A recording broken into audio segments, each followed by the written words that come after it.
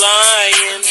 Why you always lying? Mm, oh my god, stop fucking lying.